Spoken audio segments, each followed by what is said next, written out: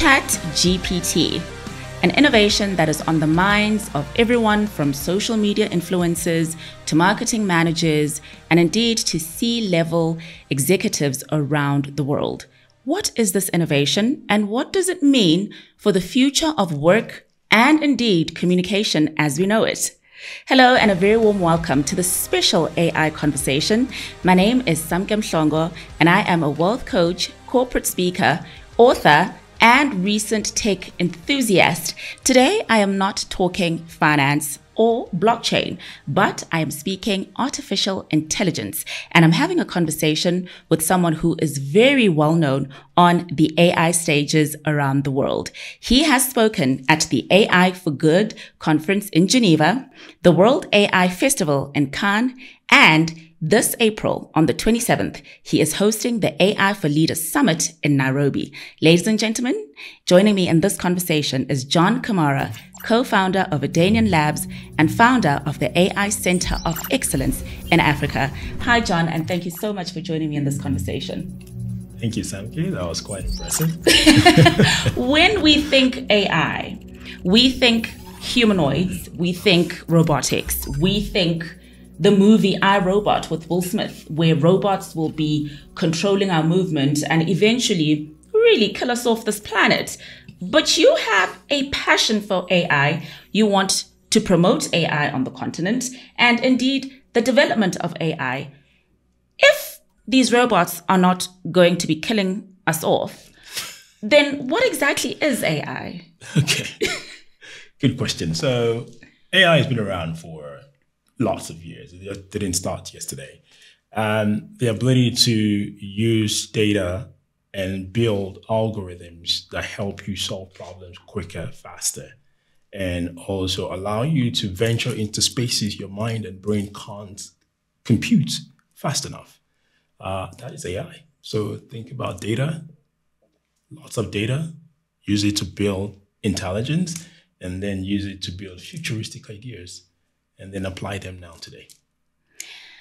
When researching artificial intelligence in preparation for this conversation, I came across research that said that AI or artificial intelligence as a term was first coined in 1962 by a man named coincidentally John. And um, back then we were looking at AI being used for what is now your Googles, your Alexas, your even satellite navigation systems. But we have seen AI develop into so much more than just more efficiently producing, you know, your Google search results, for instance. Um, tell us about what the future of AI looks like, or perhaps where AI is now.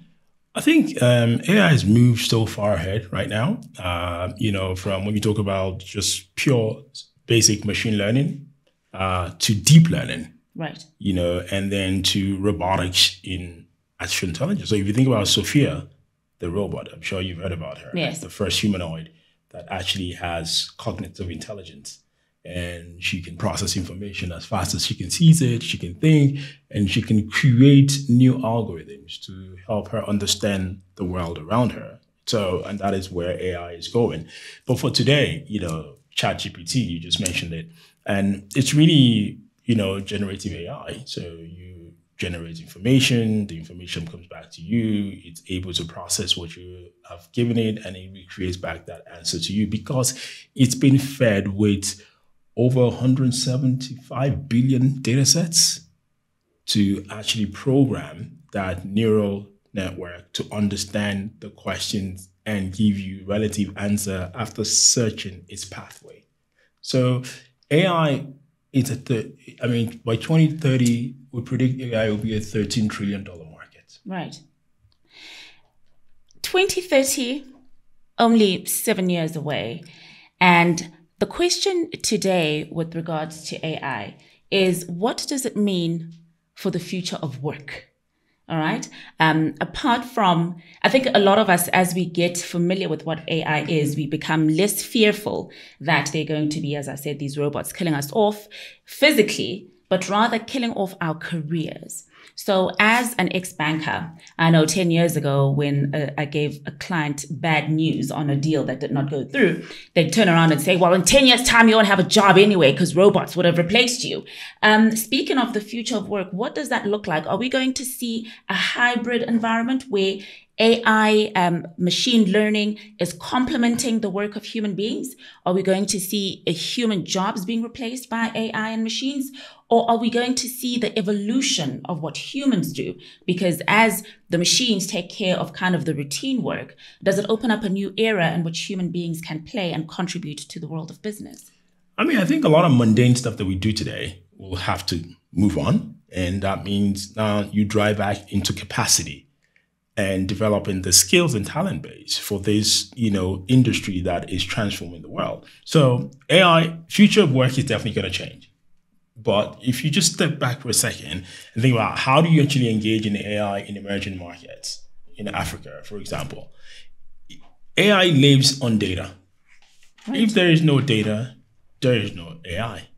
So in Africa, where we're still struggling with data transformation, where we're just even collecting proper data, playing in the data space, understand intelligence around our data before we even start building models or different other pathways of that data and where we have a lot of problems from agriculture climate change healthcare. So but what it represents is a massive opportunity for our young people to actually get all these amazing you know for our jobs and for us to become the service network for the world and to take that capacity to then recreate our own future using the intelligence. So if if you don't understand how data plays an important role, mm. and if you also don't have the human capital, which is the human capacity at the right level, um, you will just consume ChatGPT. That's all you're going to do. Which has been criticized for not always being accurate. And on the topic of data, I wanted to talk about the credibility of the results that these powerful machines are producing for us? Is it credible enough to run whole businesses on, to make executive decisions on? It, it's only feeding you what is being fed. So it's not thinking for you. So you must be, you know, sometimes people a little bit, I don't want to use this word, but, you know, sometimes people can just be the word D sometimes. you know, so it's not going to think for you. Right. It's just you've given it, it's feeding you from what has been told, what is being but it's learning. Right. Remember, this is version 101. Correct. Three, four years from now, it will be a much smarter. Again, go to look at Sophia version 101 to what she is today. Yeah. And also look at the new types of, you know, robotic AI that is developing, you know, even drone AIs, you know, that are now self-serving and self-learning engines by themselves you know? So they they basically are self-serving ai so they know exactly it's learned enough to navigate by itself. So ChatGPT will get there as long as you keep feeding it information. Now tell me we're feeding it information but this is sensitive company information. This is proprietary information. Mm-hmm. what protocols are in place to ensure the safety or, and security of this information that we are None. putting into None. Who who is the who is the AI ethics community globally? I mean, in Europe at least they're trying. In America, but in Africa there's not. I mean, we again we don't we're not playing in the right data space first of all. Right. To even understand AI ethics and to begin to define frameworks for ethical AI and you know biased nature of AI. So like you can't even begin to speak. And again, this is where African leaders really do have to check themselves because remember, this is the fastest growing industry mm-hmm. probably in the world at the minute. And if you're also looking for foreign direct investment into your country, you train a thousand AI engineers and you can outsource them to the rest of the world, you probably make more money than so many things you've done put together. Talking about profitability, talking about money whilst making a positive impact, let's use the example of AI in healthcare. Again, whilst doing my research, came across a case study where AI will help to improve the speed at which a diagnosis is made. Uh, if you are, you know, at risk of a disease by way of not only your health records uh, or checkups when you go to the doctor, but by way of your wearables, and then being able to pick up a change in your blood pressure, etc. Um, what does AI in healthcare look like in terms of helping hospitals and medical company med- medical insurance companies that ecosystem provide better service for their patients but also to be more profitable. The, again structured data if you don't if you don't have structured data there is really no way that you can actually use the power of this intelligence that we're talking about. Mm. And I keep repeating myself data, structured data, data mm. because that is the baseline for us to play in this. AI in healthcare is truly the future of healthcare mm-hmm. from decision making, you know, for precision healthcare, for preventive healthcare, and patient driven human centric healthcare. Mm. You know, that is actually the future of healthcare, even helping doctors make decisions quick and fast because one doctor cannot compute so many different types of decision making processes. But an algorithm that has taken so many data sets from so many different doctors. Imagine if you've learned from a thousand doctors around the world. Would you not be better at making a quicker decision and telling the doctor, this is five decisions that five doctors have made, this is how, maybe rather than the doctor sitting there for like five years trying to figure out how to make that one decision. So again, even from a human perspective as well, as a patient, again, it helps you with preventive healthcare, it begins to show you patterns pattern recognition of your own health by itself, merging different sets of data for you to see. And those patterns are now recognizable you know, and then your practitioner, your doctor, you know, again, if you look at image generation, different diseases. So it is the future of healthcare, which is happening now. It's not tomorrow. Right. But the question is, which I had back to you and your audience, will Africa play in that future? That is the real question. The $13 trillion market that we're aiming for, are we sure that we can play in that market? And do we have that market in our line of sight? Will you play in the AI future, which is here today? That is the question we leave you with on this AI special conversation with Mr. John Kamara. Well, I think the best way to do so is to start where you are with what you have. And as part of doing that, this conversation is my answer to that question, as well as the podcast on technology, where we aim to raise awareness about the digital and technological revolution on the continent. But you're playing a role in capacitating and driving the AI revolution on the continent, specifically with the AI for Leaders Summit on the 27th of April. Perhaps you can take tell us a little bit about what business leaders that have been invited to this event can expect to take away. Cool, thank you. So basically, what we've done is rather than going to all these summits around the world, I just want a place where business leaders can understand the business impact the financial impact of AI for their businesses. So we've invited some of the top leaders in the world to come to Nairobi for the first time ever to now just talk to 100 people. So if you get lucky to be one of the 100 we invite, then you'd listen to some amazing use case conversations about what is happening.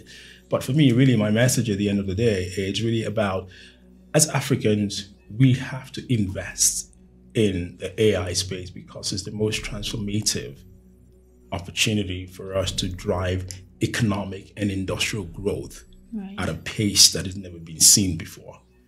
And if we're able to do that and build a foundation by data transformation, not just digital transformation, which is not very clever, data transformation. We think about data in everything we do, every point of collection of information. We think about data. Then, even with climate change, we might actually begin to solve some of that problem because we have the right sets of data and how we collect that data. So that's what I'm going to leave them with.